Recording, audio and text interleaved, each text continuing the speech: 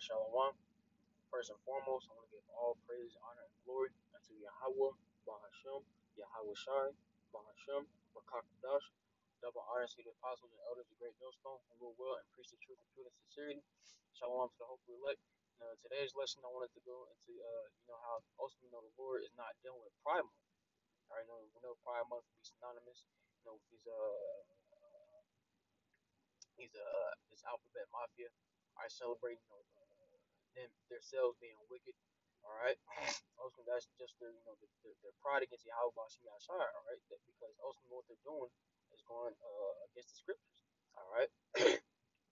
now, with it being Pride Month, I want to get this real quick because you know the, the, the month June be Pride Month.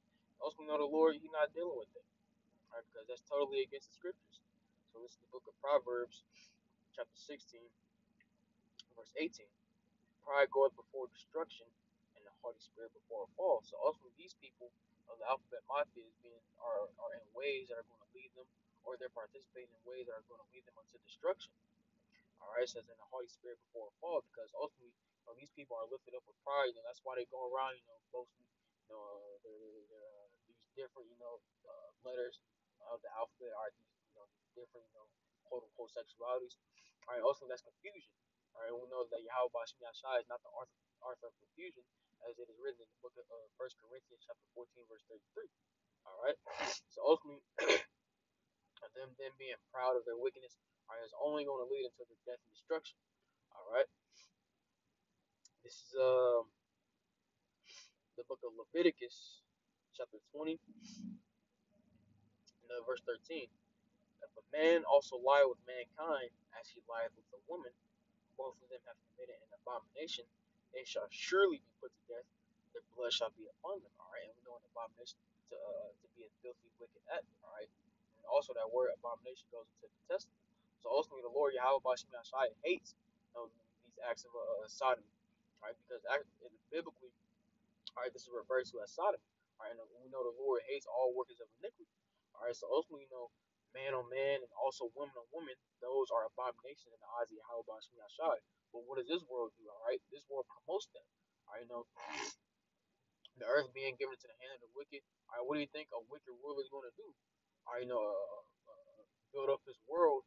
All right, based upon wickedness. All right, so ultimately, Esau Edom has this, Esau Edom, the so-called white man, all right, has this world, you know, built totally and contrary and against Yahweh Bashmi Ashai, right? As it is written, what is thou do to, uh, to declare my statutes? Because Esau Edom doesn't go according to the ways of Yahweh Bashmi Ashai. They go according to their own ways, their own wickedness, all right? So they, they, they gas up this kind of behavior, all right? But we know Yahweh Bashmi Ashai hates it. It says they shall surely be put to death, the blood shall be upon them. But what do you see? All right, them walking around freely without judgment, continuing in, in, in the wickedness, continuing to do man on man, woman on woman.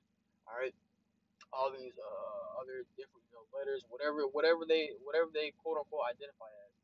All right, and they continue in this confusion and wickedness. All right, and Esau is letting them do it. All right, but they're supposed to be put to death. All right.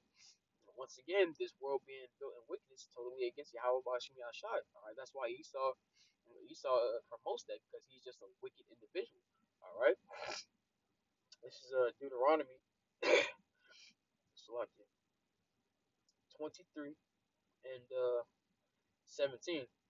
There shall be no whore of the daughters of Israel, nor a sodomite of the sons of Israel. All right, we know a sodomite, all right, to be a modern day homosexual, all right, because ultimately the Lord didn't set it up that way. He set it up to be man on woman, not man on man, all right, not woman on woman. All right, that's confusion with Yahweh Bashim Yashai. All right, and also you know the reward for that is death. All right. This is um the book of Isaiah, chapter three and verse nine. The show of their countenance doth witness against them, and they declare their sin as Sodom. They hide it not. Woe unto their soul, for they have rewarded evil unto themselves. Says the show of the countenance doth witness, doth witness against them. You can see the pride on these people's faces know, when they're committing such wicked acts uh, that, that's against the scriptures because they, they, they feel good. It makes them feel good. All right. No, they're they're proud of the wickedness that they do. All right.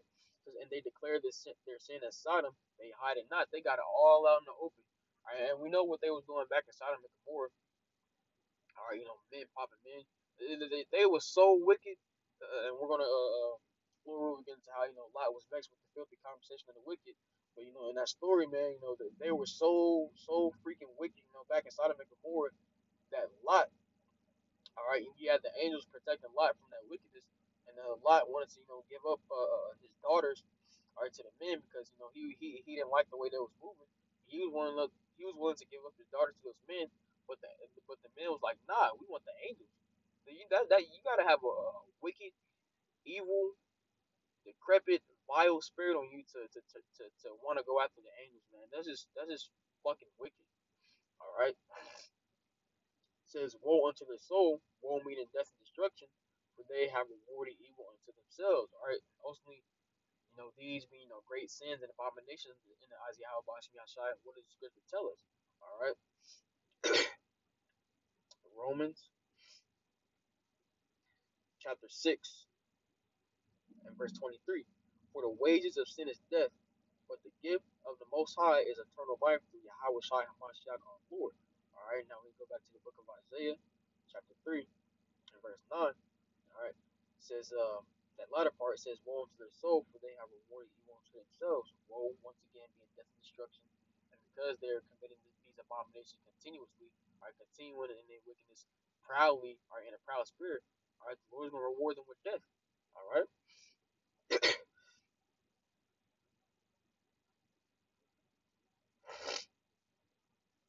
This is uh Second Peter chapter two and um. Verse 6 And turning the cities of Sodom and Gomorrah into ashes, condemned them with an overthrow, making them an example unto those that after should live ungodly.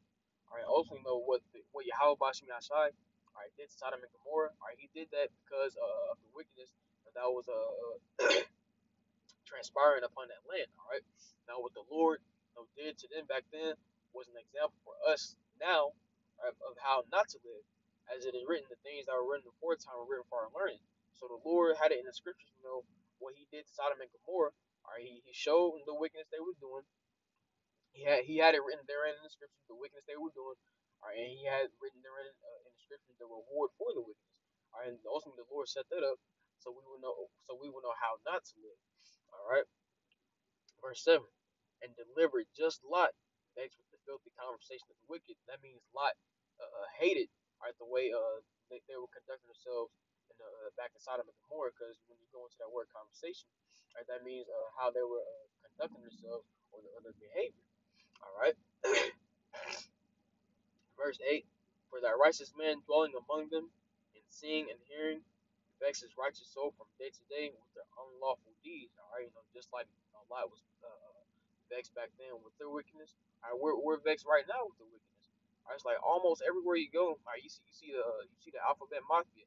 Or you try to watch a certain TV show, and you just got to put some according to the alphabet mafia in there. Or you, you, a certain commercial pop up where you see two men rubbing on each other. All right, and also and, and uh, also in a lot of these commercials you see men in drag. All right, ultimately that that's vexing to the spirit. All right, because we know it's, it's lucky. We know it's totally against Yahweh Bashim Yashai.